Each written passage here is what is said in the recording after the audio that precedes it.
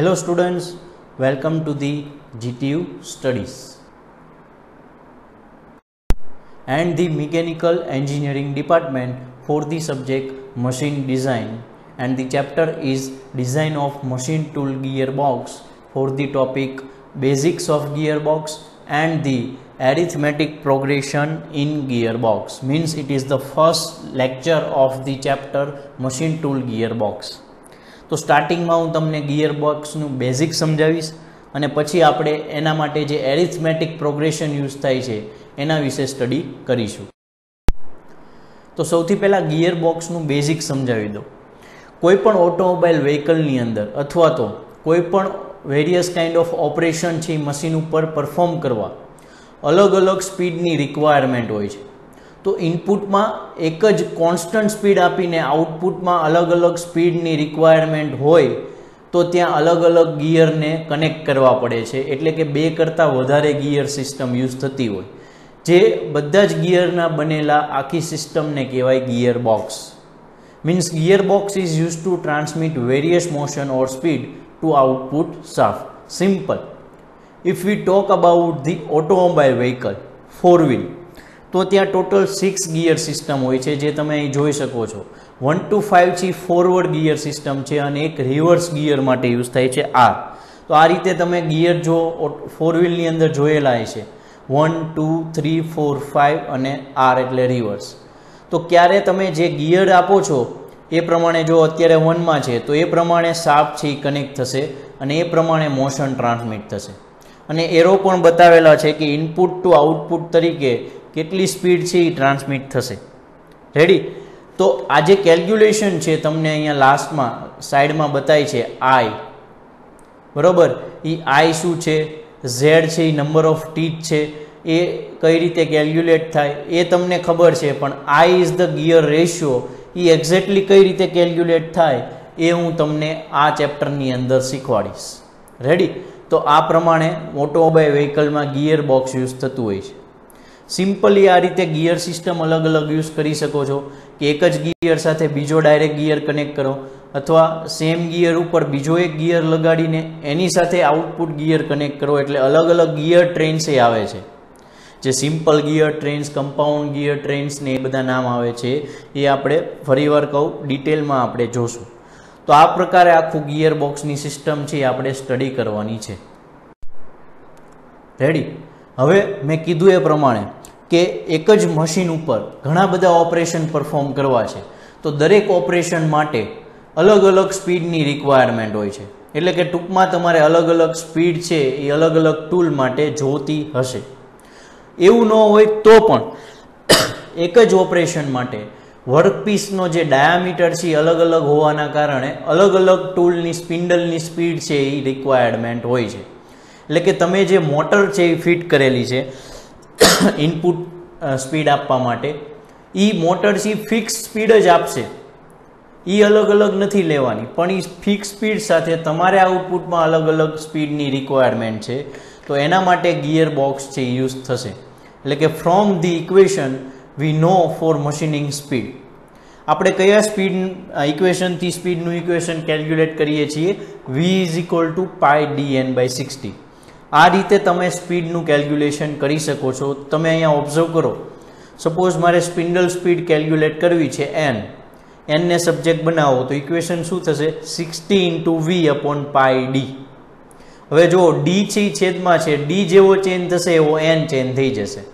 વી છે એ શું છે? તમે જે ઇનપુટમાં મોટરની સ્પીડ જે આપો છો વેલોસિટી એ છે એ ફિક્સ છે કોન્સ્ટન્ટ છે. એટલે વી ચેન્જ નથી કરતા.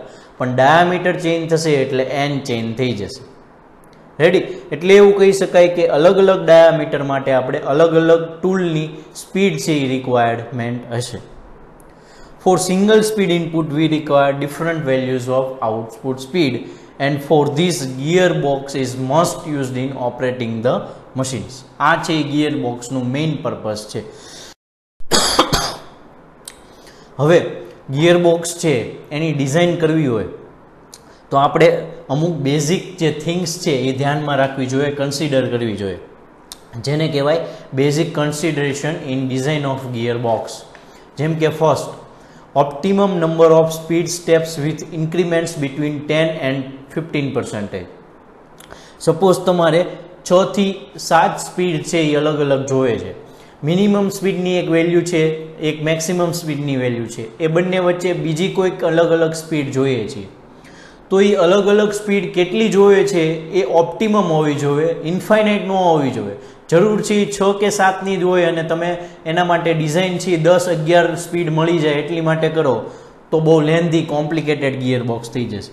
એટલે જેટલી પણ નંબર ઓફ સ્પીડ સ્ટેપ્સ જોતા હોય, એટલા જ સ્પીડ સ્ટેપ્સ માટે જ ગિયર બોક્સની ડિઝાઇન થવી જોઈએ. એટલે કે optimum number of speed steps હોવા જોઈએ. સેકન્ડ છે speed change without stopping the electric motor જે આપણે ઇનપુટ માટે કનેક્ટ કરેલી છે, એ સ્ટોપ કર્યા વગર જ સ્પીડથી ચેન્જ થઈ જવી જોઈએ. Desired speed change without passing through intermediate speed steps suppose તમારે સાત સ્ટેપ છે, હવે બીજા સ્ટેપમાંથી ડાયરેક્ટ ચોથા સ્ટેપમાં જવું છે. તો પછી ત્રીજા સ્ટેપની મોશન છે વચ્ચે ન આવી જોઈએ. ડાયરેક્ટ તમે સેકન્ડમાંથી ફોર્થમાં જઈ શકવા જોઈએ. રેડી ફોર્થ છે one set of gears in engagement at one time એક જ સેટ ઓફ ગિયર્સનું કનેક્શન છે, એ એક જ ટાઈમે થવું જોઈએ. વધારે ગિયર્સનું કનેક્શન થવું જોઈએ નહીં. Fifth is use of minimum possible parts જેટલા બને એટલા પાર્ટ્સ છે એ મિનિમમ રાખવાની. તો જેટલું કોમ્પ્લિકેટેડ એન્ડ લેન્ધી છે ગિયર બોક્સ બનશે, એટલી ડિઝાઇન તમારા માટે કોમ્પ્લિકેટ થશે. Six is ergonomically design and centralize control unit ergonomically એટલે તમારે ડિઝાઇન ઓફ મશીન એલિમેન્ટ્સમાં આવી ગયું છે એક એસ્થેટિક અને એક ઇર્ગોનોમિક ડિઝાઇન ઇર્ગોનોમિક્સ એટલે સિમ્પલ લેંગ્વેજમાં કહું તો યુઝર ફ્રેન્ડલી બને એટલું યુઝર ફ્રેન્ડલી છે એ ડિઝાઇન થયેલી હોવી જોઈએ અને સેન્ટ્રલાઇઝ કંટ્રોલ યુનિટ હોવો જોઈએ. જો એને ઓપરેટ કરવામાં જે યુઝ કરે છે ઓપરેટર જે છે યુઝ કરવામાં એને પ્રોબ્લેમ આવે છે તો એને ઇર્ગોનોમિકલી ડિઝાઇન છે એવું ન કહી શકાય. Ready and last one is entire drive unit located inside the machine tool આખું જે ગિયર બોક્સ છે, એ મશીન ટૂલની અંદર જ ફિટ થયેલું હોવું જોઈએ. તો આ સાત વસ્તુ છે, એ ડિઝાઇન કરતી વખતે ધ્યાન રાખવાની છે.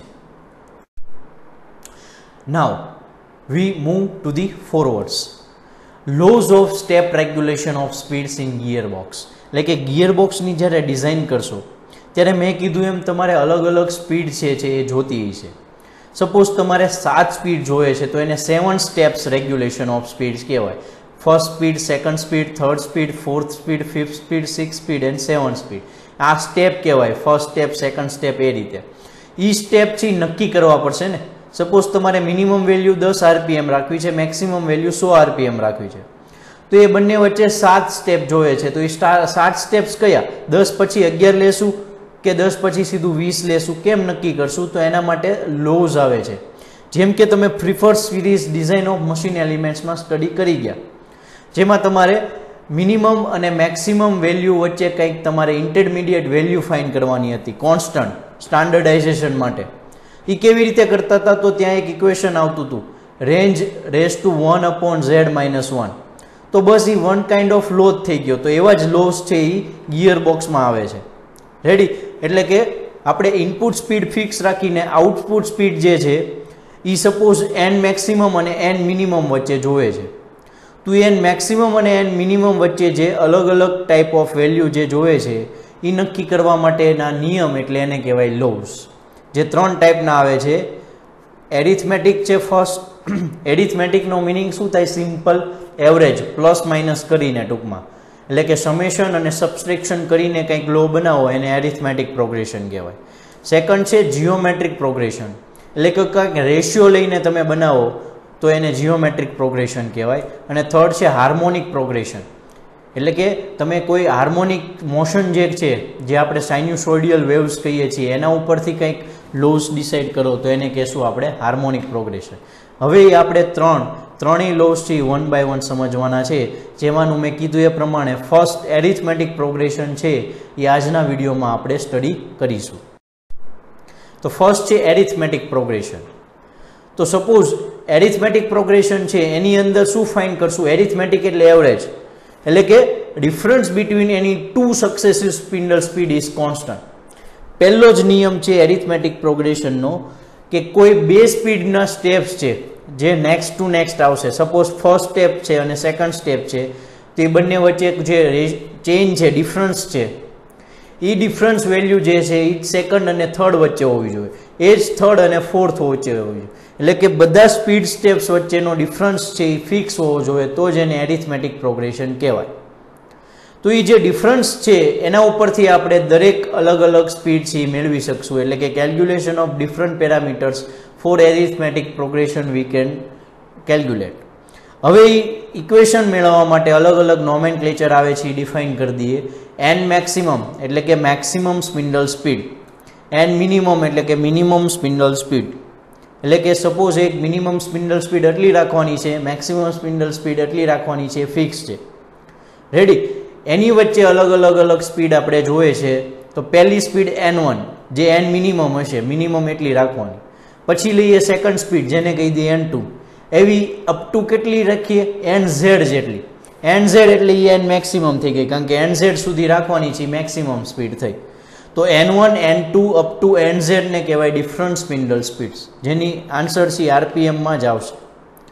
અને જે દરેક સ્પીડ જે છે કન્ટિન્યુઅસ સિક્વન્સમાં એ બે સ્પીડ સિક્વન્સમાં જે છે એ સ્પીડ વચ્ચેનો જે ડિફરન્સ છે એને કહી દઈએ આપણે એ ટી એટલે કે common difference of the arithmetic progressions ready એ જે એટીની વેલ્યુ છે એ કઈ રીતે મેળવશું એ આપણે હમણાં નેક્સ્ટ સ્લાઇડમાં જોઈએ. અને ઝેડ છે એ number of speed steps total number of speed steps કેટલા રાખવા છે? એ ફિક્સ હશે ગિયર બોક્સની ડિઝાઇન કરીશો, ત્યારે તમને ખબર જ હશે કે કેટલા સ્ટેપ્સ રાખવાના છે. તો આપણે એને જો કોમન લેંગ્વેજમાં કહી દઈશું ઝેડ એટલે કે ઝેડ નંબર ઓફ સ્પીડ સ્ટેપ્સની રિક્વાયરમેન્ટ છે. તો આપણે હવે ઇક્વેશન સાથે સમજીએ. સૌથી પહેલાં આપણે ફાઇન્ડ કરતા શીખીએ ડિફરન્ટ સ્પિન્ડલ સ્પીડ કેવી રીતે ડિફરન્ટ સ્પિન્ડલ સ્પીડ ફાઇન્ડ કરશું? તો સૌથી પહેલાં એન વન એન વન એટલે એન મિનિમમ એ તમને ખબર જ હશે કે મિનિમમ સ્પીડ આટલી હોવી જોઈએ ગિયર બોક્સમાં એટલે એન વન ડિફાઇન હવે એન ટુ કેટલું રાખશો? એટલે કે ફર્સ્ટ સ્પીડ પછી સેકન્ડ સ્પીડ કેટલી હોવી જોઈએ?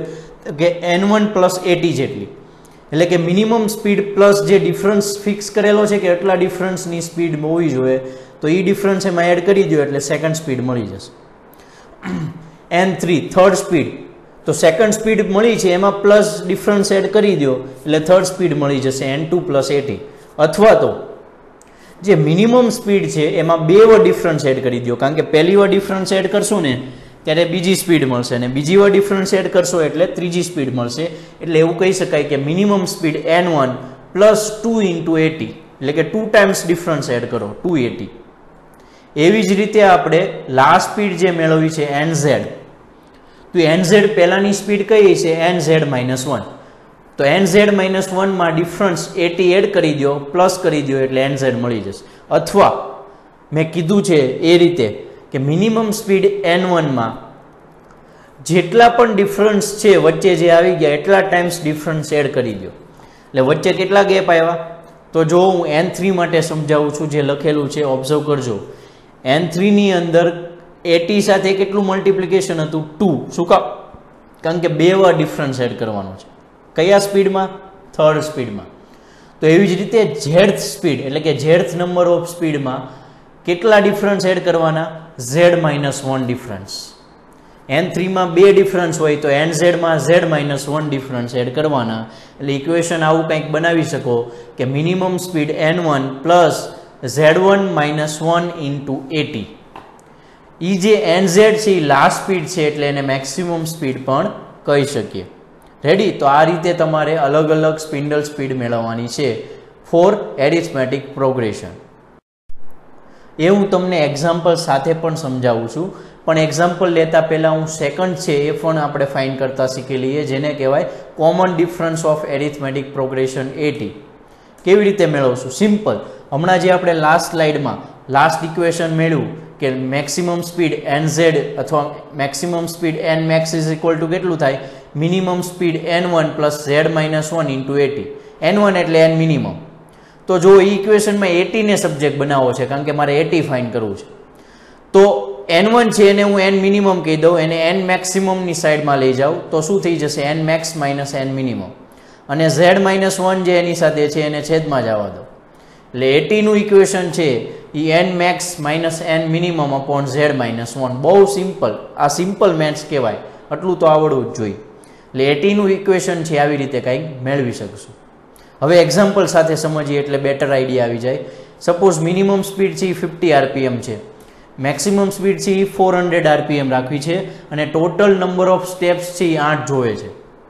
રેડી એટલે કે ઝેડ કેટલા જોવે છે? એઇટ એન મિનિમમ કેટલું છે? ફિફ્ટી એન મેક્સિમમ કેટલું છે? ફોર હંડ્રેડ તો એના ઉપરથી એટી મેળવવું હોય, તો એન મેક્સ એટલે four hundred minus N minimum એટલે fifty four hundred minus fifty છેદમાં ઝેડ માઇનસ વન એટલે કે એઇટ માઇનસ વન ઉપર આવશે થ્રી ફિફ્ટી છેદમાં આવશે સેવન એટલે જવાબ આવશે ફિફ્ટી આરપીએમ એટલે કે કોમન ડિફરન્સ કેટલો મળશે? ફિફ્ટી આરપીએમનો એટલે કે મિનિમમ સ્પીડ કેટલી છે? ફિફ્ટી આરપીએમ તો સેકન્ડ સ્પીડ કેટલી આવશે? Fifty plus fifty one hundred third speed કેટલી આવશે? One fifty fourth speed two hundred fifth two fifty six three hundred seven three fifty અને eight last maximum speed four hundred RPM આવી ગયું? Answer verify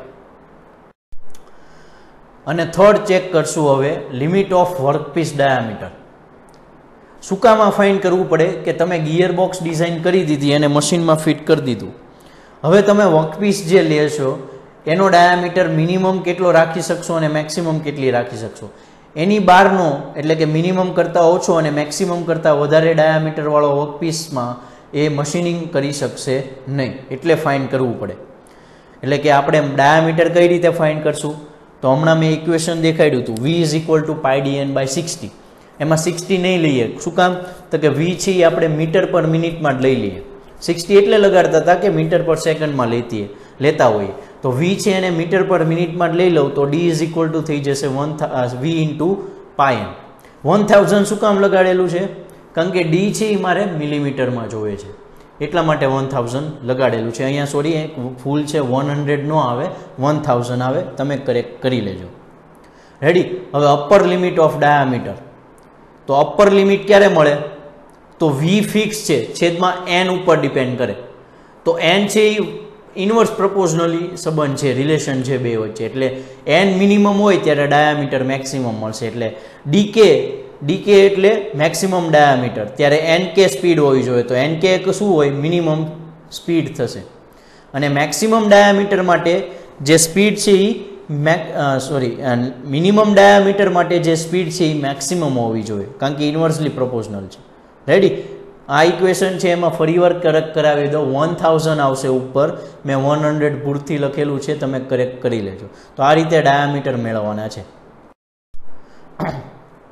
ready તો arithmetic પ્રોગ્રેશનનું આ રીતે calculation કરવાનું છે. જ્યારે આવશે ત્યારે ફરી આપણે ડિટેલમાં જોશું. એક્ઝામ્પલ આવશે ત્યારે. હવે એનું એક એડવાન્ટેજ છે કે જ્યારે હાઈ સ્પિન્ડલ સ્પીડની રેન્જ હશે જે રેન્જ જે છે એ વધારે હશે ત્યારે એ વધારે સારી રીતે પરફોર્મ કરી શકશે. એટલે કે it is good for high speed spindle range પણ જ્યારે લો સ્પિન્ડ સ્પિન્ડલ રેન્જ હશે લો સ્પિન્ડલ સ્પીડ રેન્જ હશે એટલે કે રેન્જ બહુ ઓછી હશે તો ત્યારે એ પરફોર્મન્સ સારું નહીં આપે because it is a poor perform poor performance હશે લો સ્પીડ સ્પિન્ડલ રેન્જમાં રેડી તો આ રીતે એરિથમેટિક પ્રોગ્રેશન આવશે. આઈ હોપ તમને આજનો વીડિયો લેક્ચર છે એ સમજાણો છે, તો વિડીયોને લાઇક કરો શેર કરો એન્ડ સબસ્ક્રાઇબ કરો GTU Studies channel. And for more material, you can visit our website www.gtustudies.com. Thank you.